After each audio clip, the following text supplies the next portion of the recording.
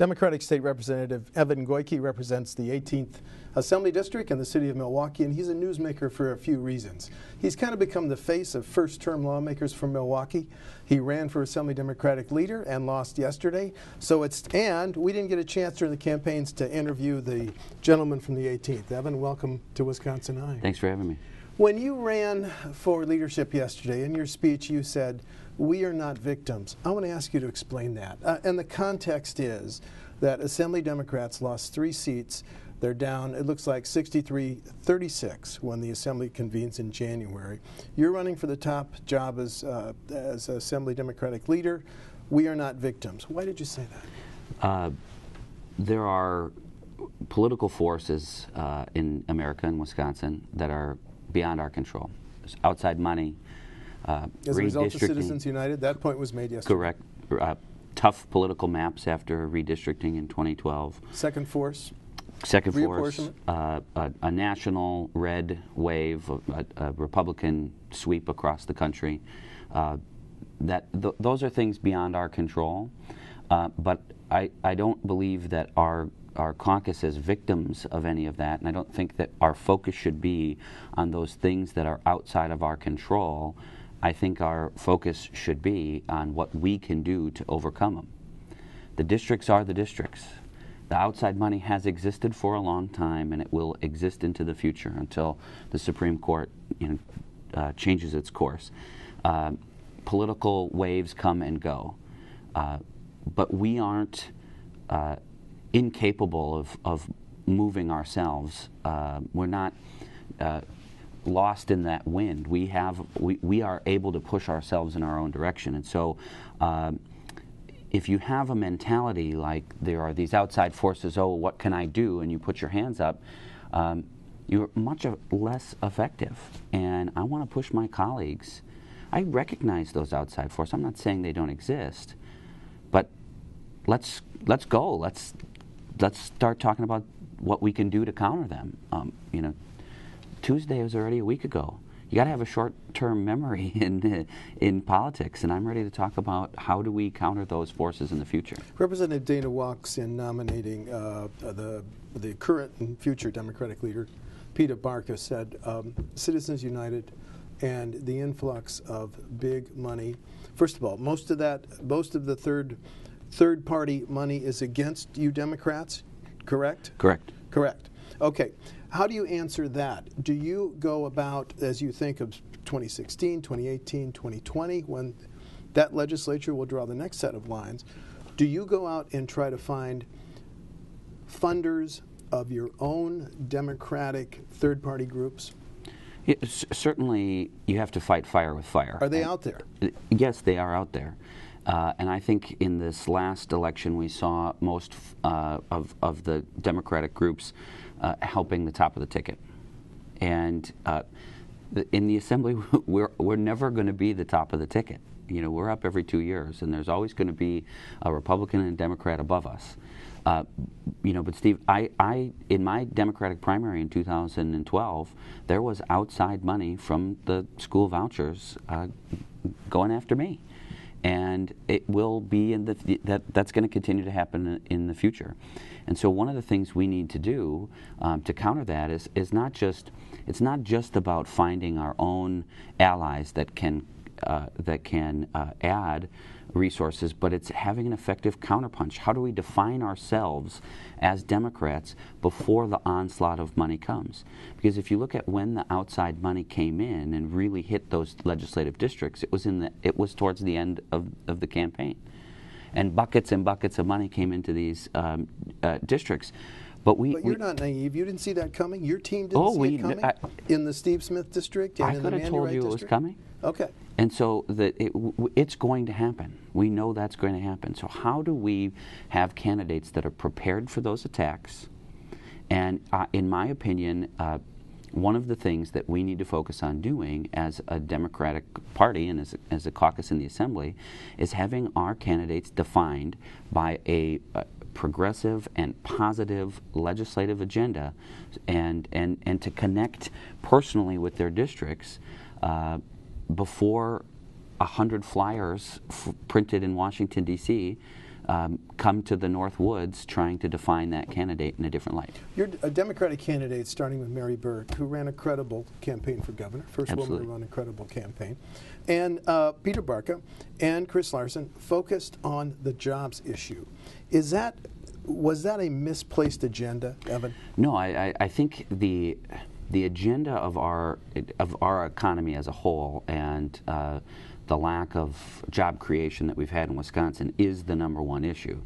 But what I think what we've lost is uh, it's not enough to just say we need more jobs. You have to have, uh, comma, this is how we get there. And and what I think didn't connect in the kitchen tables across the state of Wisconsin was, I, I think families agreed that there was uh, that we that we need you know a stronger economic development and, and, more jobs in Wisconsin. I don't think that is anyone anyone um, disagrees with that. But how were Democrats going to get that done?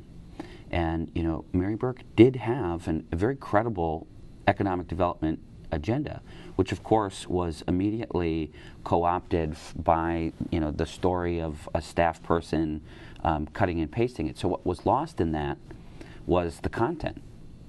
I don't really care where those ideas come from. They're good ideas.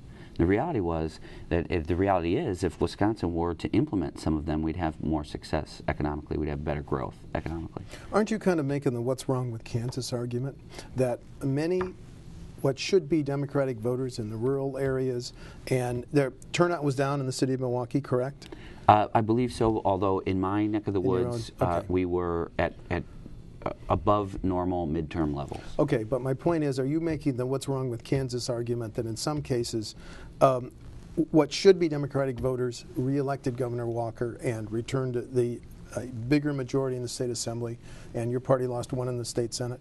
Yeah, well, and, and, and it, it it's frustrating. We had ballot initiatives in Marathon County and Outagamie County and Winnebago County that where voters endorsed raising the minimum wage or removing money from politics or accepting the Badger Care expansion uh, federal dollars, yet voted for candidates that campaigned on doing the opposite. And so there is some frustration there, and I and, and so part of it is a bit of a head scratcher. But what I I think the diagnosis is that those Democratic candidates, we we we as a party didn't connect. We didn't connect the dots. So in, in part it's how do we communicate, but I don't think the voters believed they liked that policy, but they didn't see us strong enough on it. Okay. So the connect wasn't there. Correct. Um, Talk to me about your district. Uh, give us a, a quick uh, summary of the 18th district. Uh, it's intensely urban. It is the, I think, the second smallest district in the state of Wisconsin. It's just over 3,500 acres. And the unemployment rate among African Americans massive, massive. I have, I have uh, zip codes that have above 50% unemployment.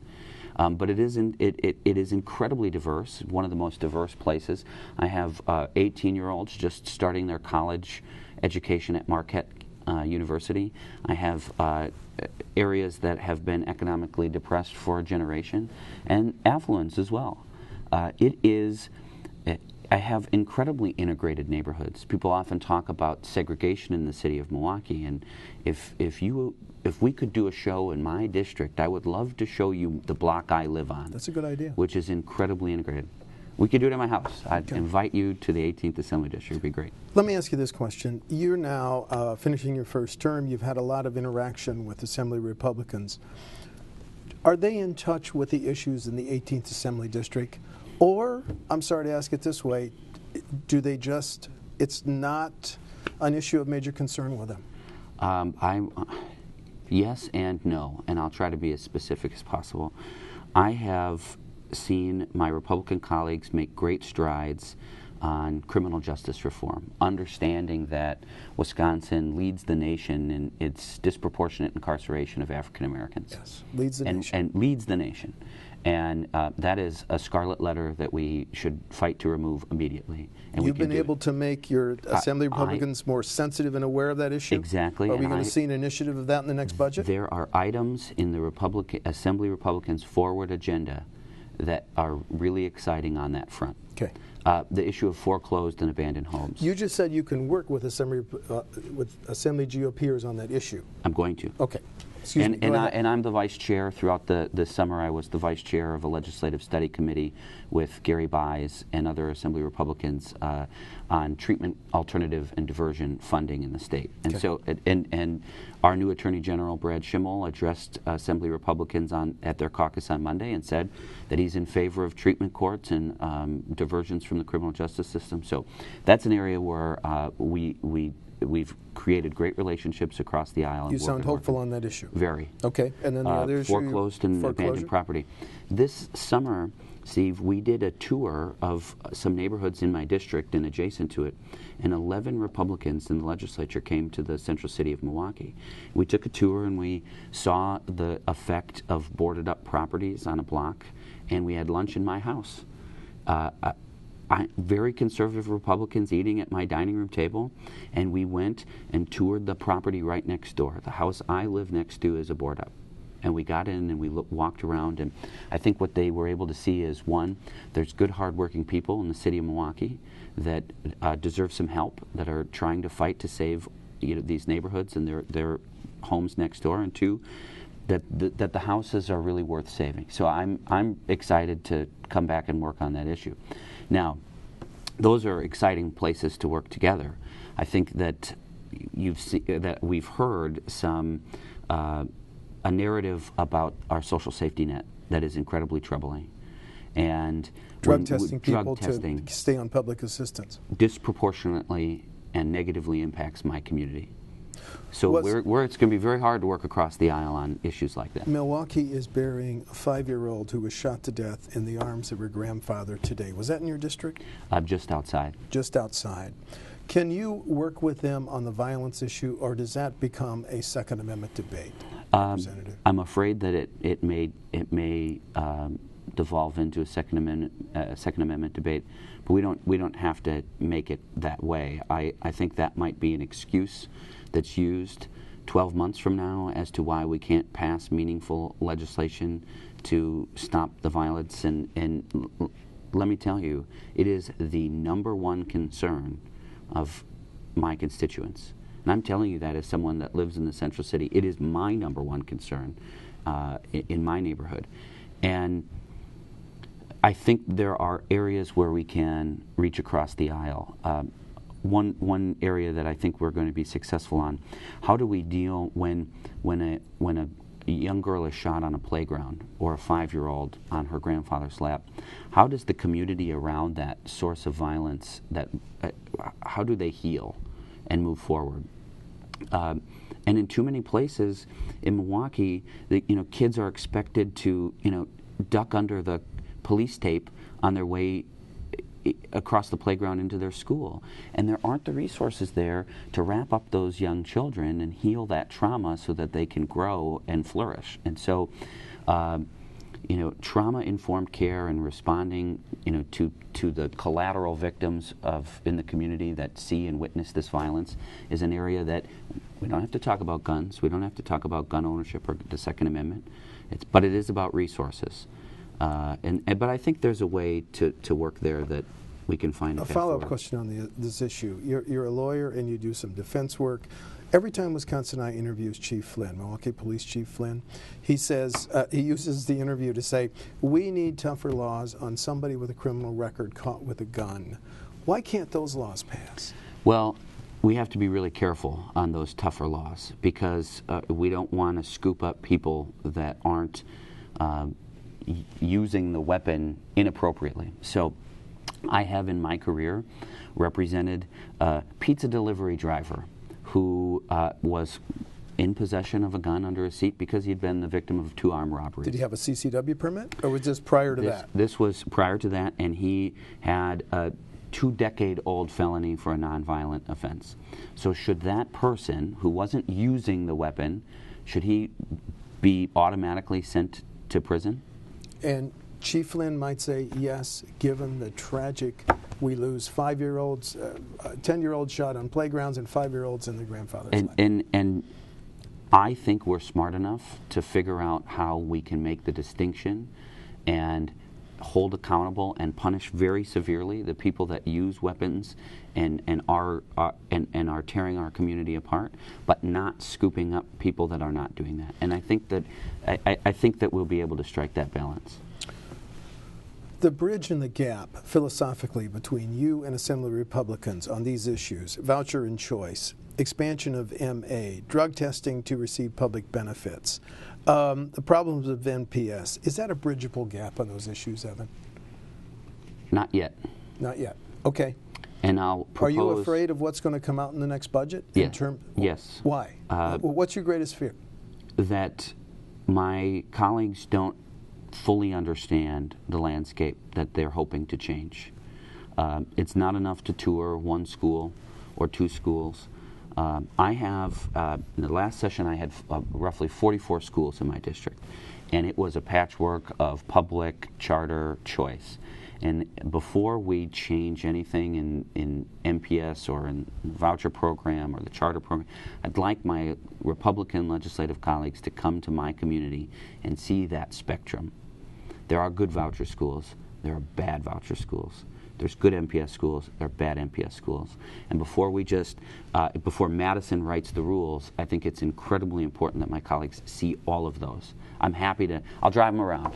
I mean, this is, this is the way uh, that I have tried to bridge the gap, which is to open my door my home, my community, because if they could see what's going on, I don't, if, if Wisconsin voters could see the reality uh, that that we have and what has happened in, in the school system in Milwaukee uh, since the vouchers have uh, exploded, uh, th there's no way they would hit the gas pedal on this and, and expand vouchers. Coming from an inner city district, why did you ask to serve on the Assembly Agriculture Committee? Well, it's, it's a, I'm, I'm curious. Uh, my constituents. Um, you know, we eat the food that's grown in Wood County or Clark County, and it's and and and, and my, my constituents brew the beer that's consumed in Clark County and Wood County. So we have this connection. Um, I wanted to work with pragmatic, uh, you know, so-called moderates uh, that largely, I think farmers that come to the legislature have that mentality, and I it was really a, a joy to get to know those members. But it's a connection um, food and growing food in, in ha, has been a uniter in my community. The, the growth of urban agriculture and um, community gardens have been ways that we bring uh, different backgrounds together, um, different ethnic backgrounds, different um, generational backgrounds, and our connection to um, cooking and eating and knowing where that food comes from is really powerful. I'm also exploring ways so that my community can see the wide open spaces that are uh, available in Wisconsin. It's, it's really important, and, and vice versa, so that the folks in the rural community can come and experience what life is like uh, in, the, in the central city. And, and what we'd find is that we're not very different at all. Where are you on the National Democratic Party debate on whether the president is an asset or a liability? Well, he's, he's what you want to make of him, right? If you run away from him, he's a liability. Yes. And if you run towards him, he's an asset. So it's not about the president, it's about how does the candidate embrace what's happening. So President Obama and the two visits by his spouse uh, helped Mary Burke in the city of Milwaukee? Yes. And I got to meet the First Lady, and she is amazing. And I have a picture of my fiance and I, and it will, it's on our refrigerator. It was an asset. Okay. Um, draw me uh, a plan of how your party comes back in the assembly so perhaps you're in control in 2020 when the next lines are drawn. How do you get there from here? And, and that election is uh, my legacy election. Uh, that's what, what I do today uh, is, is with, it, with the plans and the strategy in place for that election. That is my legacy election. Uh, we need to come up with new solutions and new public policy. We need to challenge our own party to grow and diversify. We, I, I believe we've for too long abandoned ideas, uh, public policy ideas that we should own, like tax reform, economic development, agriculture, uh, issues around the state, sand mines, water quality. You know, I was on the campaign trail in Kewaunee County and uh, Portage and Wood County. Mm -hmm. people, there are towns in Wisconsin that aren't using their tap water. And Democrats are in a position to solve that problem. That's uh, Kewaunee County? Kewaunee County. And uh, it, it, I think things are going to come home in communities that have leaned uh, Republican for a long time, and the solution for those problems are going to be proposed by legislative Democrats. Are you saying that legis? Well, my question is, who should lead your party, given the fact that uh, Scott Walker was elected, won the fir- third election for governor in um, four years, and Senate Democrats lost one, you guys lost three. Who should lead your party, the Wisconsin Democratic Party? Well, certainly I thought that I should be one of those leaders. Yeah, uh, but you finished second. I finished second. Uh, I, I don't have anyone in mind uh, in particular, but what I hope happens uh, in the process is if, if I, I hope there is as many new ideas that come to the table, and I hope that, uh, and whether that's Chairman Tate or others that step forward, uh, that their focus is not just on the X's and O's of elections, but really on the content and the principles of the Democratic Party of Wisconsin. And I've, I've said before that's a bit of a return to our roots which we should be incredibly proud of, but it's also being brave and bold in developing new ideas uh, in, in, in, addressing the challenges that we face in the next 20 years. And then the final question, what about you personally? Uh, you're not going to be the Assembly Dem- Democratic leader. You can, you can kind of pull back or you can stay high profile, active and engaged. Your, your personal path? I'm not going anywhere. Uh, I've got a couple of exciting things on the home front. We were talking before we went on air. I just got engaged and my fiance, thank you, she is uh, smarter and significantly better looking than me. So I'm going to execute this wedding as fast as I possibly can, and uh, and and I look forward to that. I've got so many exciting ideas for the 18th Assembly District, um, both on the large-scale public policy, but also on the physical space and and building coalitions within the city and the county and the state. Um, to better the physical space uh, of the 18th Assembly District. I'm coming back uh, pedal to the metal. I'm not going anywhere. Um, obviously, I wish the results were, yesterday were different, um, but I I love my job. This is what I dreamed of doing since I was a child, and I'm I'm coming back uh, with more energy and more positivity than I had last session, and uh, and and I can't wait. So you'll be given, even though you challenged the um, the incumbent Democratic leader and lost, you're confident you'll be given a chance to raise these issues and passions and concerns in the next two years. I, I believe so, and and. I, I, and I think some of the relationships that I've developed on the other side of the aisle uh, put me in a good position to do so. And and yesterday was a good day. It, it wasn't negative. It wasn't personal. It was a good day for our caucus, and we are unified going forward. It was a close election, but it was a good election. And I'm not going anywhere. And uh, I look forward to working as hard as I possibly can. Democratic State Representative Evan Goyke represents the 18th Assembly District in Milwaukee. Evan, thanks for visiting with the Wisconsin Eye. Thank you for having me. Thanks.